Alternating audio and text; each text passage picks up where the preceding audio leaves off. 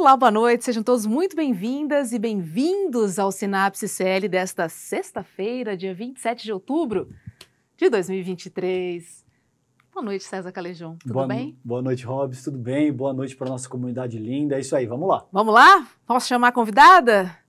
Vamos chamar então Vera Iaconelli, que é psicanalista e mestre em psicologia pela Universidade de São Paulo, a famosa USP. Vera, seja muito bem-vinda ao nosso Sinapse. Tudo bem? Tudo bem, um prazer estar com vocês, Roberta e César. Legal. Muito Obrigado, bom, querida. Obrigado por aceitar nosso convite, é uma honra para a gente. Vamos lá. Vera, o seu último livro, o Manifesto Antimaterialista, está entre os três livros de ficção mais vendidos no Brasil. Queria muito iniciar nossa conversa falando sobre ele, apresentando o seu livro aqui para nossa audiência. Então, é, o manifesto antipaternalista ele é, vai mostrando uma a questão da ideologia da maternidade na atualidade. Um, é, o maternalismo é uma ideia da sociologia e da história que fala de uma forma que a sociedade encara a maternidade que vem se arrastando aí desde o século XIX até agora e que vai se tornando cada vez mais anacrônica uhum. e levando a maternidade ao colapso. Então eu brinco que é um manifesto antimaternalista, ou seja, anti uma certa, anti uma certa ideologia pró parentalidade, maternidade e cuidado com as próximas gerações. Então não é contra a maternidade, mas uma tentativa inclusive de salvar as condições do cuidado para as próximas gerações. Uhum. E o que, que você traz em termos de. Existe uma certa romantização do que é a maternidade? Qual que é o cerne da tua abordagem nessa ocasião? Então, existe uma romantização da maternidade que começa na passagem do século XVII para o século XVIII, no qual se vai pensando que a maternidade é a grande função das mulheres, ser mãe é tudo que elas desejam, que existiria o instinto materno, a gente consegue localizar em que momento se inventa essa pseudo-categoria da ciência, que é o instinto materno, para ser usado por questões políticas e econômicas nesse momento histórico, para deixar todo cuidado com a próxima geração, ou seja, com a prole, com as crianças, colocada sob a responsabilidade das mulheres, e desincumbir o resto da sociedade. Para construir isso daí, foi se criando uma ideia de que é, as, as mulheres são acima de tudo mães, que a boa mãe é uma mulher, uma pessoa boa, que existe um instinto, então toda uma romantização, que o amor é, pelos filhos é incondicional. Então tudo isso foi uma criação histórica que vem se arrastando até hoje, né, prejudicando a gente de várias formas. Também dizem que amamentar é uma delícia, mas não é isso que as minhas amigas dizem também, né? Existem vários mitos aí da maternidade que precisam ser quebrados, porque a realidade é bem diferente e a gente tem que se preparar para a realidade, porque a ilusão te deixa cega, né? Então é. você não vai estar preparada para aquelas situações. Eu não sou mãe, Vera, mas eu uhum. tenho amigas, mães, eu sou tia e eu acompanho, né? Boa. Muito porque, enfim, é sempre uma surpresa quando eu ouço as minhas amigas, né, enfim, contando, ai, Rô, imaginei que fosse assim, é tão diferente. É um pouco mais pesado. Ai, dói. ai, eu fiquei, eu tive deprê depois. Sim. Ai, o meu corpo também não voltou. Enfim, Sim. existem questões, Agora, né? É. Agora, posso emendar uma que, eu, que eu acho que é muito boa, é o seguinte, eu venho, Vera, de, de, uma, de uma casa de, de psicólogos então, a gente sempre teve essa discussão, o que diz, por exemplo, acerca do, do termo instinto. Uhum. Na psicologia, isso é muito debatido. O que é instinto, etc. E tal. Então, você tem behavioristas, você tem cognitivistas, você tem Vygotsky, você tem históricos culturais, um, um, monte de gente que te diz um monte de coisa acerca do, do termo, do uhum. que, que, é uh, instinto.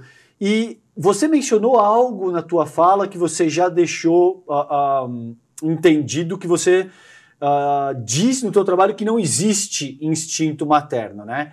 E isso vai ao encontro, por exemplo, do que uh, uh, de debates que eu tive dentro da minha casa, por exemplo. Minha mãe também é doutora em psicologia e ela me diz a mesma coisa.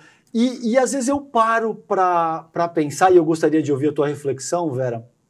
E eu vejo que existem, por exemplo, criaturas na natureza que demonstram uma espécie de afeto com a, com, a, com a, sua prole e que não são criaturas que são histórica e culturalmente constituídas. Isso não é uma espécie de instinto, claro, dado essa toda essa questão que eu salientei previamente, considerando o cuidado que a gente tem com, com esse termo. Mas não existem, por exemplo, animais na natureza que apresentam uma, uma espécie de, de instinto, de, de cuidado uh, com a sua própria prole? Não, então vocês trazem, os dois trazem questões muito interessantes, né? Primeiro pensar assim, não existe instinto materno entre é, seres humanos. Tá. Existe o instinto materno ou instintos de preservação da descendência, que eu nem sei se a gente poderia dizer se são maternos e ou paternos, porque aí, a depender da espécie, cada uhum. um vai ter a sua programação, porque o instinto é uma espécie de programação que serve para toda a espécie, né? E quando a Roberta traz o exemplo da amamentação, que é a coisa mais básica entre mamíferos, por exemplo, a gente percebe que a amamentação entre humanos ela tem que ser transmitida e tem que ser ensinada. Por isso que ela parece sofrida e pode ser muito sofrida e levar ao adoecimento, porque você não vem de fábrica esse reflexo de amamentar. Você tem que aprender sim, tem muita técnica. Uma amamentação pode, no primeiro momento, ser prejudicada por uma pega errada. Então, a, as mulheres que já têm experiência com amamentação têm que ensinar e facilitar para as que estão aprendendo. Isso você não vê, por exemplo, entre porcos, entre cachorros. Existe ali todo uma, uma, um automatismo instintual que hum. permite que o cachorrinho que mal nasceu já encontre a mama e a, a, a cadela, a porca, fiquem ali à disposição para fazer a sua função. Então, o problema é que todas essas competências, nós como mamíferos, nós até temos, mas nós fomos atravessados pela autoconsciência e pela linguagem. E isso trouxe uma série de benefícios, mas ao atravessar a nossa experiência subjetiva, nós perdemos essa, essa predisposição instintual. E tem como provar, porque de um jeito simples, acho que no livro eu me estendo bastante sobre esse tema, mas uhum. veja, o instinto é alguma coisa que está dado para toda a espécie. Então, é, a gente não tem isso de uma cultura, de uma época, de uma população, de uma família para outra, as reações diante da necessidade de amamentar se modificam completamente. Então, o instinto de preservação tá, mas a gente é, é, é a, a espécie que mais transa fora do período fértil. Os animais eles transam só no cio das fêmeas. Né? Uhum. A gente não, a gente evita o máximo, a gente criou medicação para não engravidar. Então a gente tem uma sexualidade recreativa que é própria do humano, que é atravessado por fantasias inconscientes, que é atravessado por uma série de questões. Então, aí que é a questão que a gente não tem o instinto, ele não é, é preponderante. A linguagem atravessa. Então, o amor que a gente constitui pelos filhos e entre nós é um acontecimento que pode, que pode existir ou não, não está dado de fábrica. E esse é o grande mérito, porque se a gente é amado pelos nossos pais, pela nossa mãe, se a gente ama os nossos filhos, isso foi uma construção do laço afetivo. E não algo que, bom, está programado, então dane-se, né? Se está programado, que valor que tem? Está dado de fábrica, não tem grande mérito, não? É. Maravilhosa a tua explicação. E Vera, vou virar um pouquinho a pauta e falar um pouquinho sobre a polarização política, que é um tema aqui do nosso cotidiano, né, do uhum. nosso dia a dia. Quem não vive, quem não vive, né, quem não brigou, quem não fez as pazes, né, quem não se irrita, enfim. Eu queria entender com você de que forma a psicologia pode ajudar a gente a navegar nesses momentos mais difíceis, mais ásperos, em que o diálogo é cada vez mais inexistente, hein? Então, é, a polarização ela foi fomentada. A gente já tem muita dificuldade de sustentar o contraditório, de sustentar aquilo que o outro fala, que me confronta comigo mesmo, ou seja, que fere meu narcisismo, porque eu acredito numa coisa, a pessoa acredita em outra, ela fala o que ela acredita, me desdiz, e eu posso ficar ferida narcisicamente, ter que defender minha posição, ou posso falar, bom, tá, você pensa assim, eu penso assado, sustentar a, o contraditório, né? Mas a nossa tendência é, é muito infantil, né? O Freud vai dizer, a infância passa, o infantil permanece em nós eternamente. O inconsciente, ele é o infantil. Então a gente é, a gente tem birra, a gente tem inveja, tem ciúmes, a gente briga com os irmãos com 50 anos como se tivesse 3 anos de idade. Isso é perene em nós. Só que a gente vai aprendendo a lidar com isso de formas mais, digamos, civilizadas, mais produtivas, menos destrutivas. Então, existem momentos históricos nos quais essas nossas tendências mais é, infantis inconscientes vão sendo manipuladas. Então, toda a questão da política, por exemplo, manipula profundamente né, os nossos medos, as nossas fantasias, as nossas inseguranças, as nossas fantasias onipotentes. Então, o Brasil vem vindo, e o mundo também, também a partir das redes sociais, que exploram muito isso, né, os likes são para grandes emoções, né? Sim de raiva e de amor, de paixão, de comoção. Então, uhum. tem uma exploração dessa, dessa condição afetiva humana, né? O que o Safato ele vai chamar de política dos afetos, que é uma manipulação dessa nossa tendência a polarizar.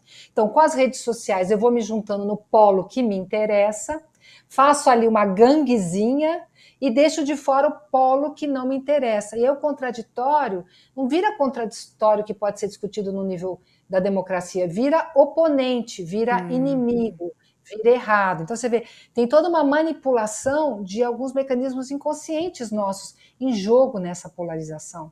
E a gente hum. vai ter que desfazer esse monstrengo, que foi esse gatilho que foi criado principalmente com as últimas eleições, né? Incrementado pela internet. Uhum. Pois é. E falando em like, só um parênteses aqui. Uhum.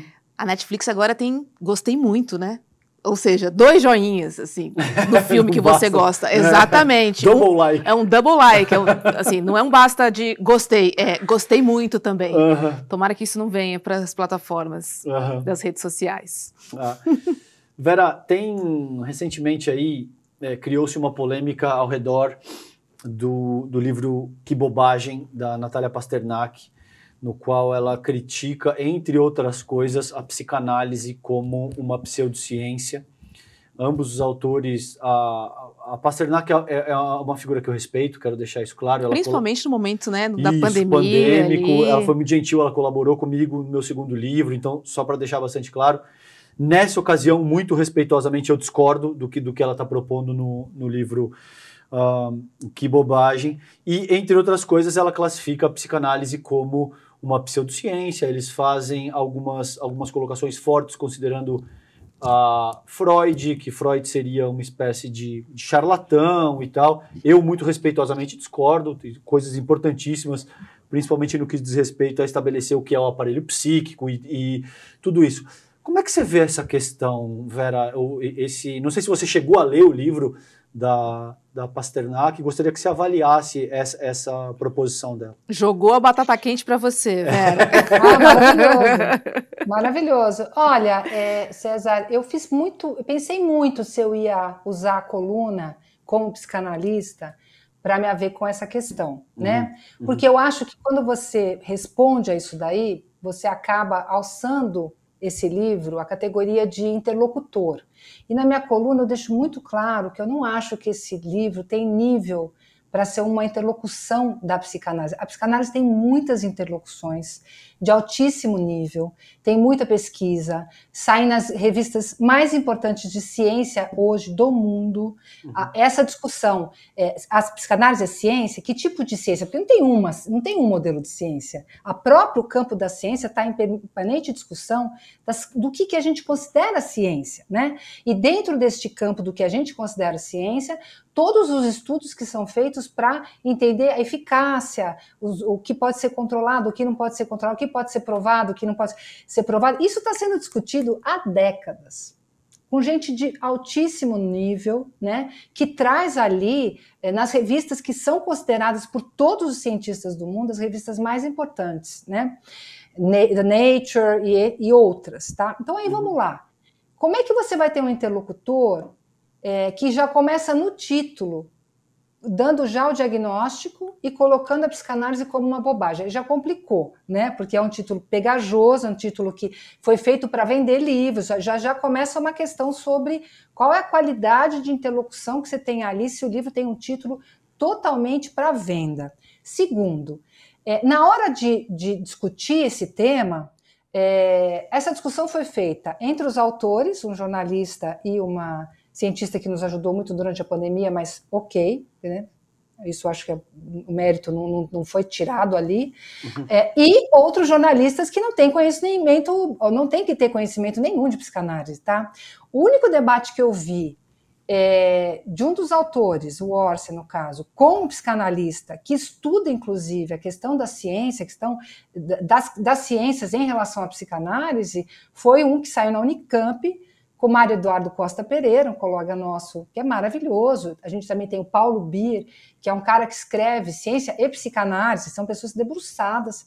E nessa, nesse debate, quem tiver curiosidade de ver, veja lá na Unicamp o debate entre o Orsi e o Mário Eduardo Costa Pereira, discutindo o livro Bobagem, que a gente já está chamando o livro pelo nome, é uma bobagem esse livro, ele se autonomeou ali, é, porque o Mário vai mostrando todas as pesquisas e perguntando para esse autor se eles tinham estudado isso daí. Uhum. E as uhum. respostas são não, não e não. Então, desculpa, para a gente discutir alguma coisa tem que ter um certo nível básico da conversa. Você não pode chegar. E no fim eles acabam dizendo que, ah, mas a gente publicou uma coisa que os americanos já publicaram. Que, que tipo de resposta é essa? Então, se pegou nos Estados Unidos, vai pegar aqui também, vamos vender livro e tudo bem? É, então, assim, desculpa, eu acho que eu não acho que tá, é uma interlocução à altura, e as interlocuções à altura são muito, mas muito bem-vindas, uhum. e estão sendo feitas por vários estudiosos no mundo inteiro. Né? E a gente tem aí, só para trazer os royalties para o Brasil, Siddhartha Ribeiro, Mário Eduardo Costa Pereira, Paulo Bier e outros. Basta pesquisar. E se você vai escrever um livro sobre uma coisa, eu sugiro que faça a lição de casa. Uhum. Boa. Vera, ontem a gente recebeu o Kylie J, o DJ dos Racionais MCs aqui no Sinapse CL, e a gente falou muito sobre a periferia, né? A gente falou muito como a periferia se sente excluída, né, da sociedade, abandonada, não olhada. E eu queria aproveitar você aqui hoje para te perguntar quais são as implicações psicológicas da desigualdade na vida dessas pessoas, hein? É, então, a gente tem uma preocupação. Existe toda uma psicanálise brasileira, né, do qual eu me orgulho muito, porque é uma psicanálise que resgata a psicanálise de 1920, lá atrás, quando Freud e os seus é, discípulos estavam interessados em, saber o que fazer com quem estava voltando da Primeira Guerra Mundial, destroçado, traumatizado, as famílias traumatizadas, as crianças traumatizadas, como atender aquela população toda que se tornou carente, né, numa Europa quebrada, e eles vão pensar numa psicanálise para todos, uma psicanálise que talvez pudesse até ser oferecida como saúde pública. Né? Então, isso já está no DNA da, da psicanálise. Depois, com a Segunda Guerra, esse grupo é dispersado, a psicanálise se torna cada vez mais elitista, porque eles vão para países onde tudo que é pensado coletivamente é entendido como comunista, né? até que a gente chega na América Latina, com as preocupações que a América Latina tem com a questão da colonização, e a gente chega no Brasil, e o Brasil hoje tem uma psicanálise jovem, extremamente engajada nas questões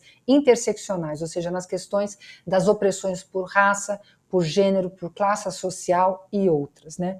Então, nós temos, não, não dá hoje para ser psicanalista no Brasil, olhar para o teu lado e perceber que você só tem colegas brancos de classe média alta estudando junto com você nas universidades, atendendo junto com você pessoas brancas de classe média alta. Não dá para a gente encarar isso sem se constranger, sem se envergonhar. Então, existe todo um movimento hoje na, na psicanálise da, de formação de, de psicanalistas negros, de atender as pessoas periféricas, brancas ou negras, enfim, de atender pessoas trans sem patologizar a experiência e orientação sexual delas e as identidades outras, né? Então a gente tem um movimento de reconhecimento é, do sofrimento próprio das pessoas que vivem em situação é, atravessadas por fenômenos que normalmente a classe média, a média alta não é atravessada. Então eu quero só fazer uma observação, Roberta, que é assim: os sujeitos, nós sujeitos, cada um de nós, nós sofremos. Os uhum. sofrimentos não são medidos, Sim, tá? Uhum. Mais sofre mais, sofre menos. Quem perde um filho, não importa em que condição perde, porque é, tem uma dor ali incomensurável, por exemplo, só para dar um exemplo, tá? Uhum, uhum. Mas as pessoas estão submetidas a fenômenos diferentes. Eu não sei o que é passar fome. Eu não sei o que é ter o risco de ter um filho retirado pelo Estado porque eu sou pobre e o Estado decide que porque eu sou pobre eu não posso levar aquele, aquela maternidade adiante. Eu não sei o que é morar numa periferia e ter uma pessoa me seguindo cada vez que eu entro numa loja achando que eu vou roubar alguma coisa ou ter medo da polícia. Isso para mim não existe no meu dia a dia. Uhum. Então eu sou submetida a fenômenos diferentes dessas pessoas. E a gente tem que estar letrado, sensibilizado, conscientizado para poder escutar essas pessoas no consultório, seja um consultório de rua, seja um consultório é, dentro do, do, né, do espaço mais privado, sensibilizado e alerta para esses fenômenos, para saber como é que aquela pessoa, na singularidade dela, se virou com essas questões que não me pertencem, pertencem ao campo de fenômenos delas. Então, eu acho que é, são sofrimentos atravessados por fenômenos diferentes e a gente tem que observar, porque essas pessoas são extremamente invisibilizadas e isso já é um sofrimento em si mesmo. Posso só emendar e fazer claro. uma pergunta, Vera? Mas é, essa psicanálise, essa terapia, ela é acessível para essas pessoas? Boa, Roberta. É isso que a gente está batalhando hum. dia e noite para conseguir. Né? Quer dizer, os institutos de psicanálise tardiamente se conscientizaram, por exemplo, que eles não tinham cotas as universidades têm cotas, por que, que a gente não tem cota? Né? Quer dizer, então, lá no Instituto Geral de Psicanálise, a gente tem um grupo de ações afirmativas que trabalha com os optantes, que trabalha com cotas, 30% das nossas vagas são para cotistas. Então, e agora os institutos também estão começando a, a se virar. Então, na medida em que você tem é, mais psicanalistas negros, mais sensibilizados por essas questões, mais uma rede que, de acesso a essas análises, você vai fazendo todo um circuito de possibilidade de atender a população. Mas eu vou dizer mais uma coisa, gente: não vamos nos iludir. A gente poderia ter é, todo mundo acesso a todos os psis que existem hoje, ainda ia faltar psi. Uhum. Porque o estilo de vida que a gente leva é tão insalubre que a gente está partindo do pressuposto de que todo mundo precisaria fazer uma análise, o que não é verdade, tá? A gente precisa começar a mudar os modos de vida que a gente tem. Quer dizer, a psicanálise não vai resolver o problema da periferia. O problema da periferia é um problema político, que a psicanálise até tem que se engajar, mas ele tem que ser resolvido realmente ali, né? E a gente está correndo atrás de oferecer para cada vez mais pessoas o tratamento, como foi preconizado pelo Freud lá em, há mais de 100 anos. O SUS não atende, né? O SUS não entra nesse pacote. Tem Sim. também no SUS. Sim, você tem é, CAPs AD que trabalham com pessoas com problema de adição, uhum. você tem CAPs que trabalham com a infância, o CAPSI, você tem vários instrumentos. O SUS é maravilhoso. O SUS ele, ele só precisa ser fomentado, ser apoiado. A gente não precisa mexer no modelo do SUS, a gente precisa injetar ali energia, gasolina, porque o carro é um Mustang, para quem gosta de Mustang, tá? Mas você só precisa pôr gasolina lá, porque ele é maravilhoso. Uhum. Tem psicanálise, tem psicólogo, sim, fazendo coisas muito lindas no SUS, mas com recursos péssimos, né? Uhum. Uhum. Vera, eu queria ouvir um pouco a respeito da, das principais influências da tua prática. Naturalmente, você citou nominalmente Freud. Eh, você falou um pouco de linguagem, então talvez me corrija se eu estiver errado, mas eu identifico algo de Lacan. E, e, você citou elementos históricos e culturais que talvez remetam ao, ao enfoque histórico e cultural uh, Vygotsky. Eu gostaria de te ouvir um pouquinho. Quem que são as tuas... Uh, qual que é a tua formação? Quem que são as tuas principais uh, influências na tua prática?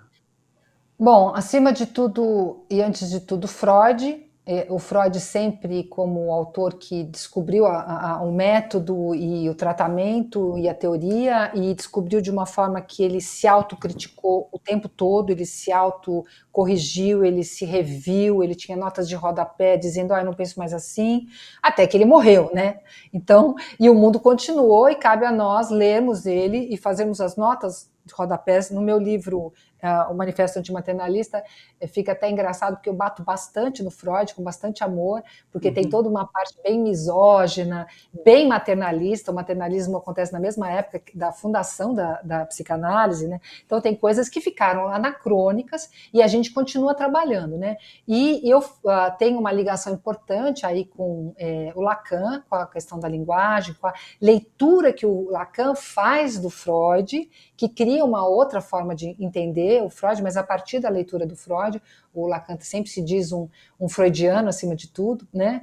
É, mas eu sou uma psicanalista é, freudiana, lacaniana brasileira, né? Atravessada pela Lélia Gonzalez, atravessada também pelas leituras de Fanon, que não é brasileiro, mas que traz as questões da colonialidade para a gente, as questões raciais que para a branquitude tem que ser a gente tem que afundar a cara nisso daí e ser afetado por isso, né? Uhum. Tem Neuza Santos Souza, a gente tem é, muitos autores brasileiros que são incontornáveis. Tem Christian Dunker, que para mim é, é, uma figura fundamental, Mara Café, são pessoas que estão vivas aí, são pessoas que estão. O próprio Mário Eduardo Costa Pereira, né? Tem muita gente produzindo coisas, Miriam Debier, que se debruça sobre as questões dos imigrantes. Então a gente tem, a gente está muito bem servido na psicanálise brasileira, gente. Para dessa coisa colonizada dos, sabe? Tem, tem a Argentina aqui do lado com uma produção maravilhosa. Vamos, vamos olhar porque é nosso. É isso aí, arroz e feijão. Vera, queria um pouquinho lá para o Oriente Médio falar um pouquinho sobre a guerra, os impactos da guerra, principalmente nas crianças palestinas, né? uhum. né?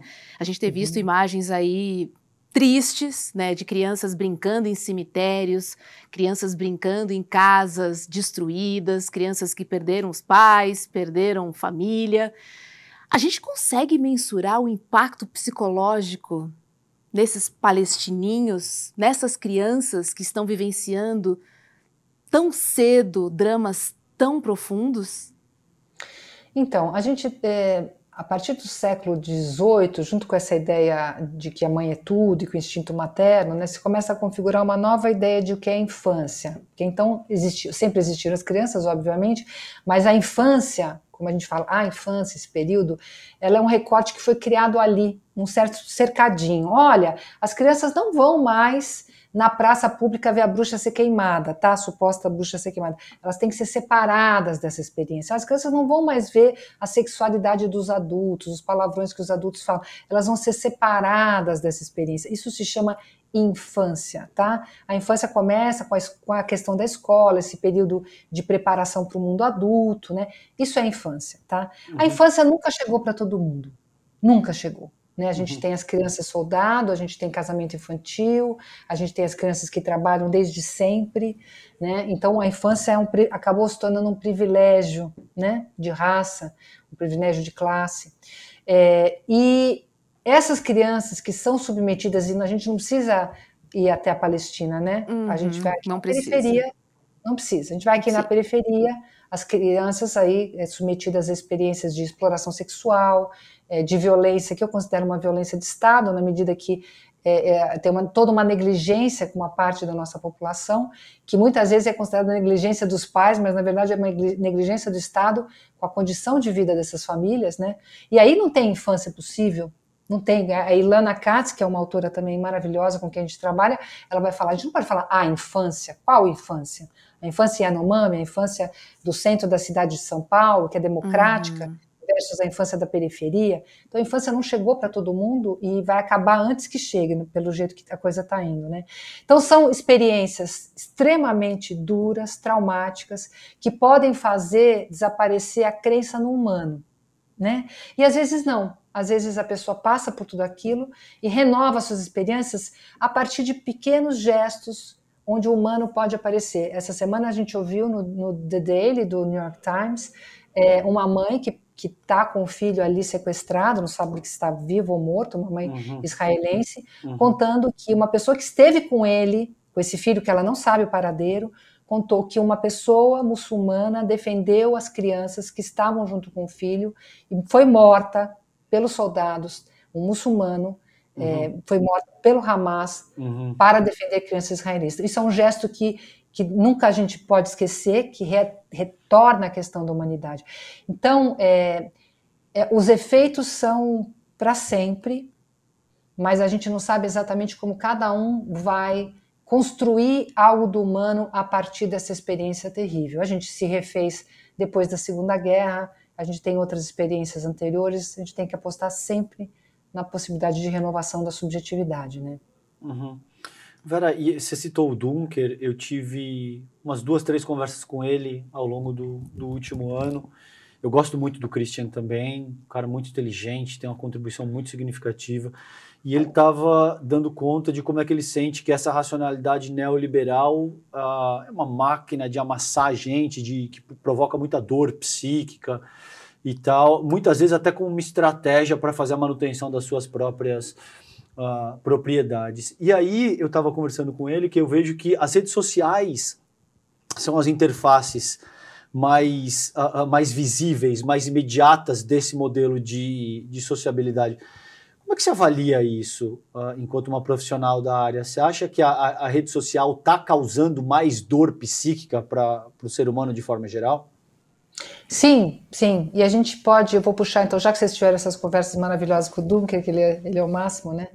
É, vou puxar a sardinha para um lado que eu acho que é bem explícito, que a gente já tem estudos que mostram, não sei se ele, ele trouxe aqui já, que mostram que a entrada do smartphone teve um efeito hoje já mensurável na infância, né? Teve um efeito mensurável, então a gente já tem uma, ali uma variável discriminada entre outras, uhum. dizendo que a partir da entrada do smartphone você tem as crianças maior número de suicídio, de depressão, de automutilação, de ansiedade, de distúrbios é, de imagem corporal, principalmente com as meninas, isso já pela entrada da internet, porque a internet ela foi criada como um produto para ser vendido, não tinha menor interesse humanitário nela, e é um produto extremamente aditivo, é, é a droga mais potente que tem efeito sobre o cérebro humano, é justamente são as telas, né?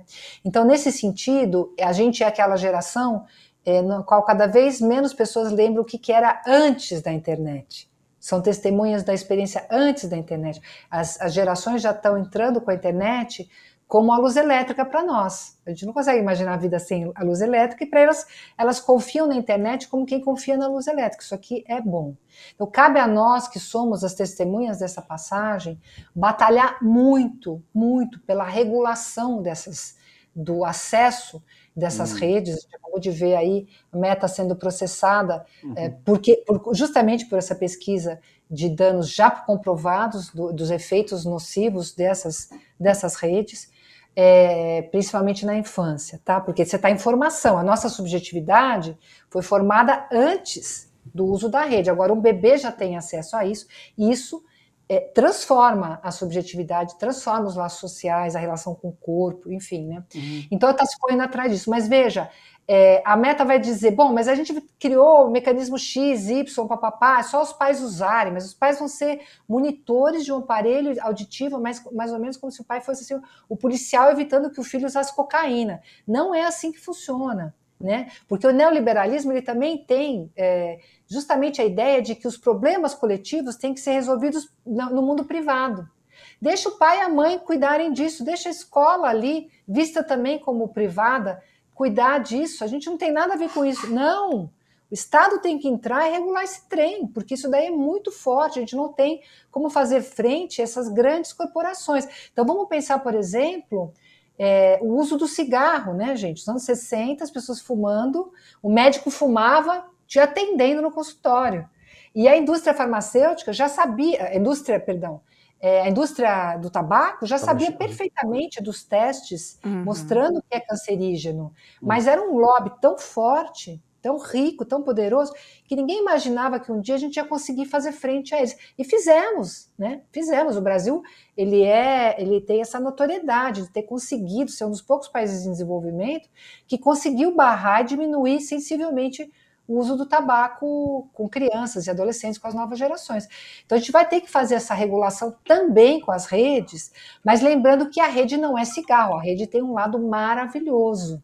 A gente vai ter que separar o joio do trigo, mas a gente tem que fazer isso com urgência, porque nós estamos adoecendo e isso já está comprovado.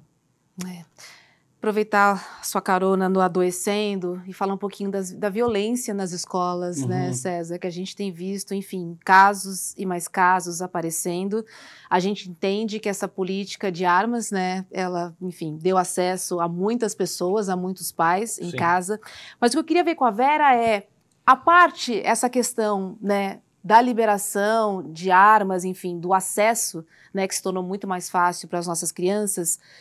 Queria entender psicologicamente, assim, para uma criança pegar a arma do pai e chegar a matar uma outra pessoa na escola, ela tem que estar tá sofrendo muito, Vera, ela tem que estar tá fora de si, em que condições uma criança toma uma atitude dessa tão grave e tão violenta, hein?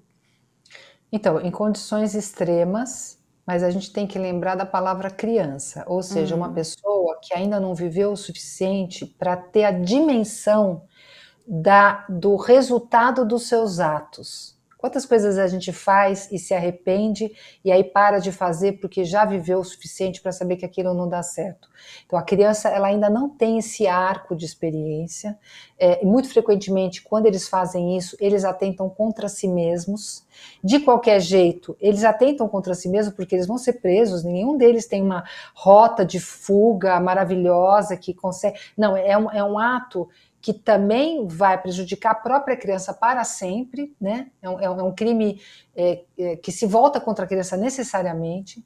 Ela tem que estar no estado descontrolado, mas a gente também tem que lembrar que é próprio da infância, principalmente da adolescência, a impulsividade, a dificuldade de antecipar os resultados e uma, uma pobreza de planejamento também, no sentido de é, será que eu consigo evitar isso fazendo aquilo? que Não, vamos partir para o ato. A atuação é muito pregnante nessa idade. Né? Então, muitas vezes a criança, diante de, do primeiro rompimento amoroso, ela se suicida.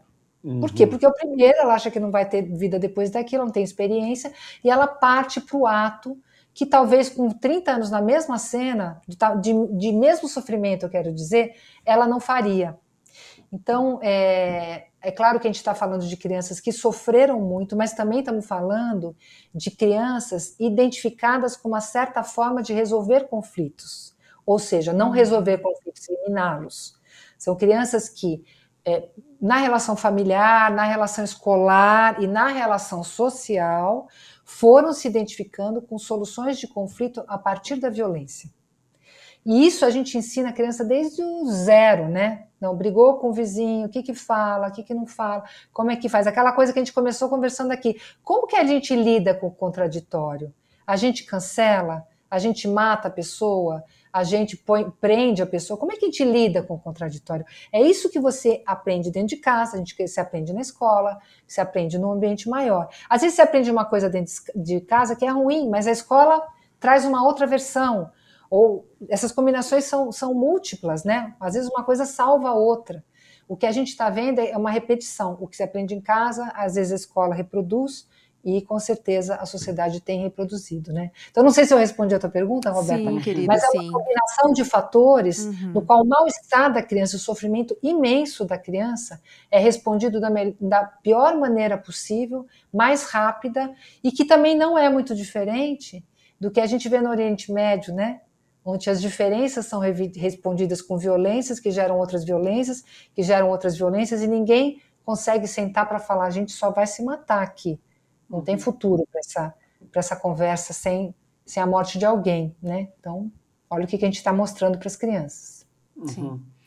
Vera, você citou o, o Fanon, e o, o Franz Fanon é um cara que fala muito de como essa mentalidade colonizada é introjetada naquilo, naquilo, em quem é o sujeito dessa colonização. Né? Ele utiliza isso para falar, por exemplo, como ah, as pessoas da Martinica, os negros da Martinica que iam à França, por exemplo, voltavam com um jeito de falar, com andar ah, que ele chama de, de afetado em virtude dessa, dessa mentalidade colonizada. Essa pergunta eu quero te ouvir como psicanalista, mas eu quero te ouvir também como pensadora, como intelectual que você é.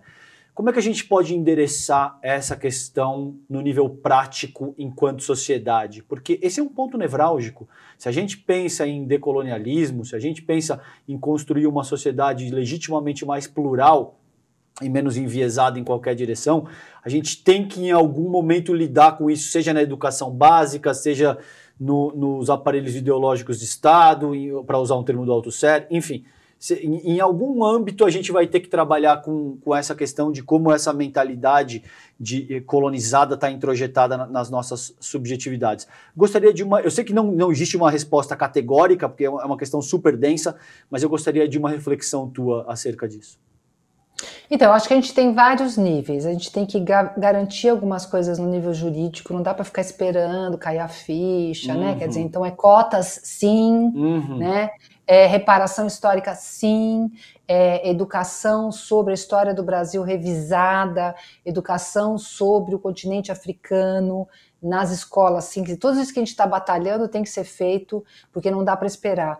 Outra coisa é trabalhar muito no letramento. Tem que ler, tem que estudar, tem que conhecer. Não adianta pegar né, e, e, transformar as pessoas negras em fontes eternas daquilo que você tem que sentar e ler, estudar e se se familiarizar. Nós somos brancos, nós temos uma obrigação moral de gastar o nosso tempo estudando o que se trata, o pacto da branquitude, do que se trata ser branco no Brasil é, e o que se trata, o que a gente oprime só pela nossa existência, né? A gente acaba oprimindo o outro, quer queira, quer não.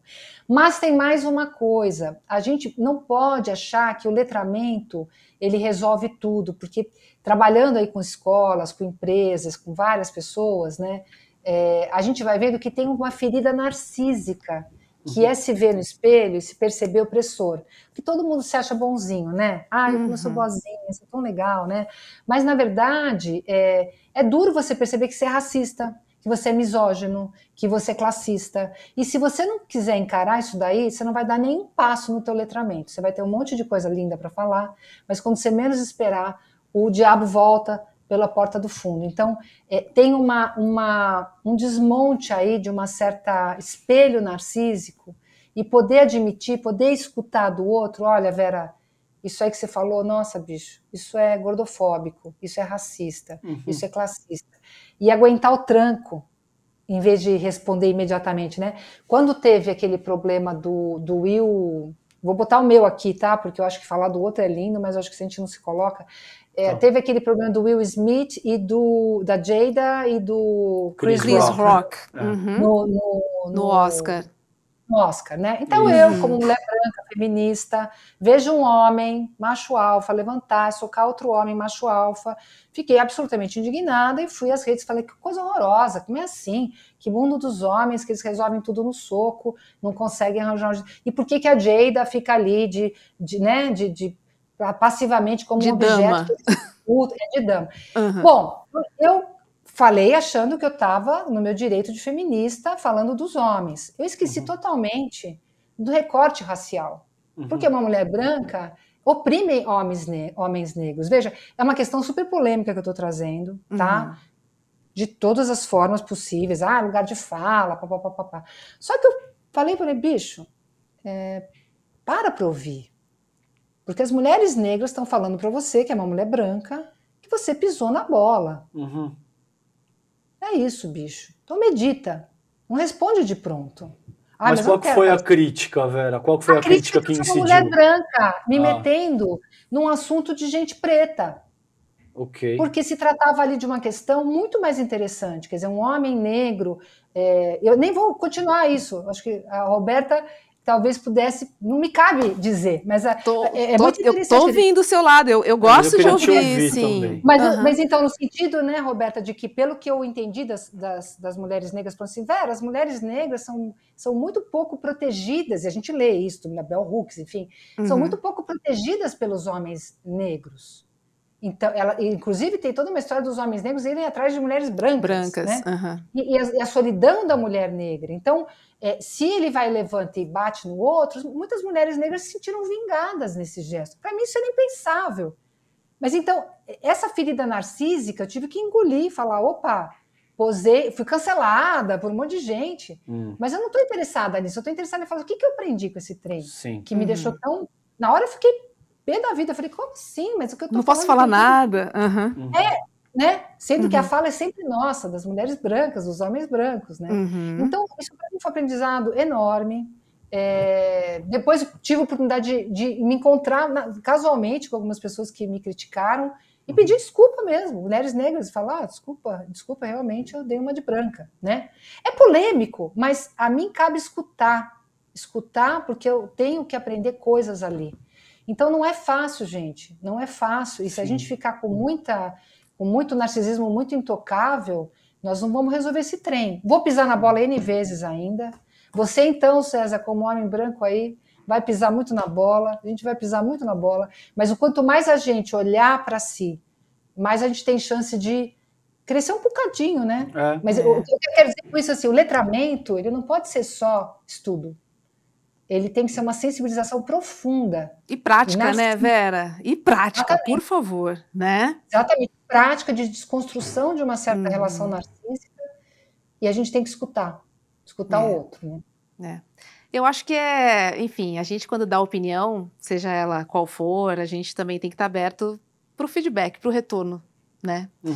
E aí eu acho que a grande chave tá o que, que eu faço com esse retorno, né? O que, que eu vou fazer com essa informação? Que é um pouco do que a Vera comentou aqui.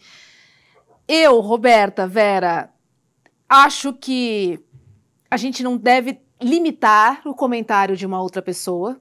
Eu, assim, eu de verdade, assim, eu adorei te ouvir sobre esse tema e gostaria de ter ouvido outras mulheres também. Porque para mim a questão não é o seu posicionamento sobre aquilo. Para mim é mais importante a gente ouvir você, me ouvir, ouvir o César, ouvir seja a pessoa qual for, seja ela quem for, e a gente entender que visões diferentes também contribuem na perspectiva do debate. Uhum. Sabe? Uhum. Porque senão a gente vai olhar sempre por um ângulo só. E eu não acho saudável, porque aí a gente mata a pluralidade, a gente mata a beleza do contraditório e a gente uhum. mata o nosso crescimento, porque a sua não vivência pode contribuir para a minha vivência, uhum. entende? Minha opinião, assim, não, eu, concordo, eu, eu... eu concordo com gênero, número e grau, e, e, e eu também acho, entendo um, a importância de, de enfrentar o teu narciso, de, de conseguir aprender com base na tua experiência. A Bion diz muito isso, de com base você precisa tolerar a frustração no sentido de crescer com base no uso que você faz das tuas experiências. Mas eu, eu, eu, também acho que é importante que a gente tenha um campo de diálogo aberto. Eu também concordo com você, acho que é importante que a gente não se sinta compelido a, bom, eu não vou falar, porque a, eu, eu e a Hobbs, a gente estava conversando curiosamente, Vera, no camarim, antes da, da gente a começar a conversa contigo. A gente conversa muito acerca de temas raciais. Eu disse, tudo que você disse, eu, eu, eu tinha te dito no, no camarim acerca de que, enquanto homem, hétero, branco, existem uma série de questões que me cabe muito mais escutar e ouvir e, e reconhecer que existem limites hoje que são complicados. Mas eu também acho que esse teu ponto é extremamente válido. Eu, eu acho que você pode aprender com base naquilo que está sendo dito, você pode ter sensibilidade para reconhecer que será que eu estou sendo extremamente vaidoso aqui? Será que de fato eu cometi um erro e eu posso voltar atrás? Sim. E esses não são processos excludentes, não são. como eu vejo. Você pode fazer essas coisas ao mesmo tempo, continuar crescendo, continuar dando a tua opinião no sentido de dizer, não, houve uma agressão física, o cara deu um tapa na cara do outro, gente. É isso que eu estou criticando, é. entende? E olha que oportunidade de debate você abriu, é. Vera, é. entende? Uhum. Eu não posso fechar essa janela, ao meu ver. Sim, eu acho ótimo. Eu, eu, acho que eu aprendi muito com as mulheres negras que vieram me dizer onde que elas acharam que não me cabia falar. E eu nem vou entrar no mérito se cabia ou não falar. Uhum. Eu vou entrar no mérito de que cabe o respeito a, de, uma, de ouvir uma mulher negra falando da perspectiva dela, uma vez que sempre cabe à mulher branca a última palavra até então. Sim. Então, em respeito a elas, eu achei fundamental retomar essa questão desde a perspectiva de, por exemplo, que eu não tinha menor eu tinha já lido, você viu que é o letramento, né? Tinha lido na Bell Hooks, já tinha lido na, na Angela Davis, e, no entanto, eu tive que entender o que, que é esse, esse lugar da relação de homens e mulheres negras na realidade ali daquela cena, né? Na leitura da cena é. me escapou algo.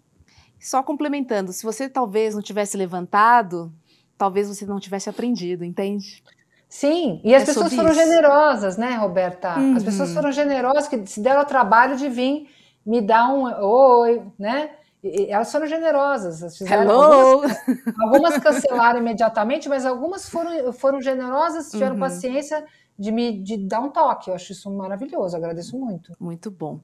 Vera, queria te fazer uma pergunta sobre a pandemia, né? Que a gente, enfim, a pandemia passou, a quarentena passou, mas os reflexos estão aí, né? Eu queria saber de você.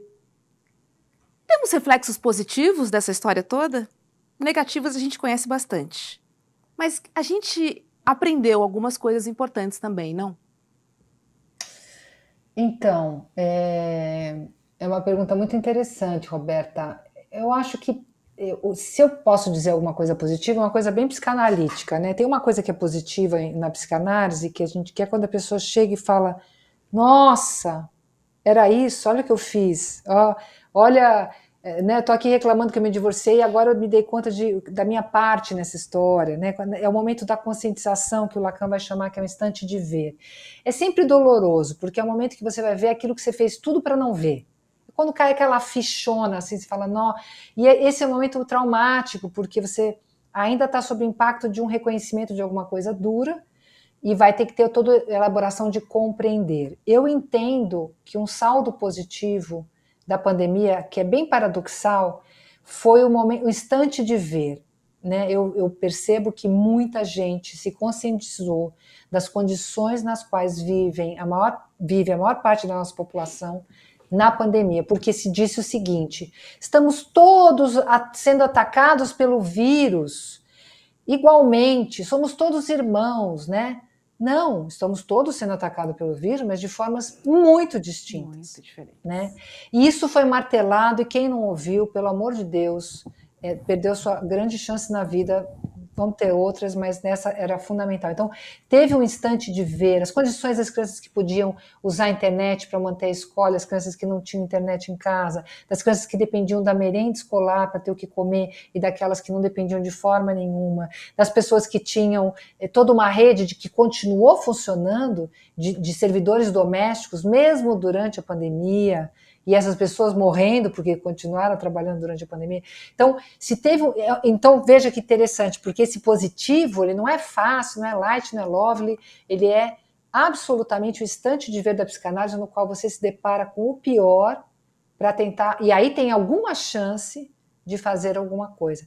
Bom, fizemos alguma coisa, tiramos uma pessoa execrável do, do governo. Foi um efeito uhum. ultra positivo. Provavelmente a gente teria o mesmo governo que a gente tinha durante a pandemia se, se a pandemia não tivesse assim, escancarado do que se tratava esse governo e do que se trata, porque está sempre ali no calcanhar da gente, né? Uhum. Quer dizer, um, um, governo de exclusão, um governo para poucos, né? Para qua, quase ninguém, só para eles mesmos, porque o que se passou em Manaus, né? É, então eu acho que a pandemia trouxe essa possibilidade de conscientização e cada um fez alguma coisa com isso, mas muita gente é, acendeu uma luzinha, né? É. Eu sempre digo que a pandemia acelerou alguns processos, assim, e eu fico muito feliz uhum. de alguns processos terem sido é, acelerados. E ela escancarou também privilégios, desigualdades, e ela cutucou a gente no momento em que a gente não tinha distração nenhuma sabe? Assim, então foi, foi muito foi muito cirúrgico e foi muito didático. Sabe aquela aula que você não consegue sentar no fundão? É a pandemia foi a aula que você sentou na primeira fileira, uhum. porque você não tinha chance, não tinha nem recreio para ir, é sabe? E fez a gente refletir, fez a gente pensar, porque todas as outras coisas, né, o que diverte a gente, o que tira a nossa atenção, tudo isso foi realmente extraído. Uhum. Então você teve que focar de fato naquilo que se mostrava. Então eu sempre penso que muitos casamentos acabaram, né? Enfim, eu posso levantar algumas questões Sim. assim, mas de verdade, assim, acho que foi importante, né? Politicamente falando, a gente de fato viu ali, né? O presidente né, agindo de maneira lamentável, enfim, desumana. É. Talvez demorássemos mais para perceber alguns, né, Sim. que ainda não tinham percebido. Enfim. Vera, muito obrigada pelo nosso papo. Foi uma delícia trocar com você e compartilhar com você. É isso aí.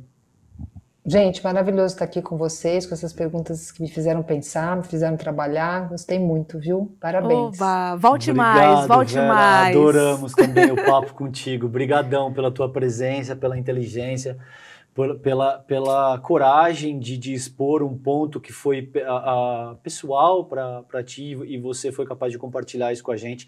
A gente te agradece profundamente por tudo que você compartilhou e por tudo que a gente aprendeu contigo hoje aqui, viu? Obrigada, gente. Um beijo, tchau, tchau, sucesso um beijo. Beijo, Obrigado. bom fim de semana. tchau. tchau. tchau. É isso, né? Uhum. Sinapse CL cumprindo seu papel, É, sim. né? e Muito hoje a gente gostoso. conseguiu abordar vários temas, aproveitar, né, esse, É. esse, essa reflexão e esse, esse conhecimento, né, dela sobre psicologia, psicanálise, até para a gente entender melhor, César, porque em momentos turbulentos, em momentos confusos, é isso, né? É a gente precisa, É. né? Assim, eu falo que eu perco quase todos os compromissos da semana, eu só não perco a minha terapia. Análise, é isso aí. Nem boa. pensar. Boa. Gente, segunda-feira a programação do ICL começa às 7 da manhã com o Sinapse e o seu. Sinapse não, com o Desperta.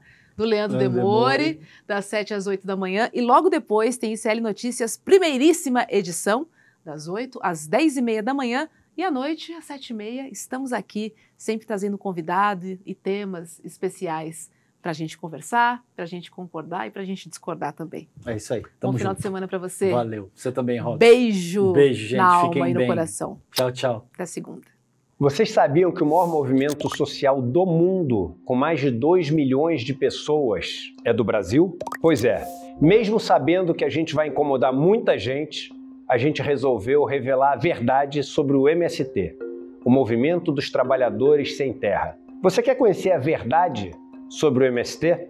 No dia 12 de novembro, um domingo, às 8 horas da noite, no horário de Brasília, a gente vai apresentar para vocês trechos do documentário de Quanta Terra Precisa o Homem e também fazer um debate incrível sobre essa, que é uma das questões mais importantes para o Brasil, a questão da terra.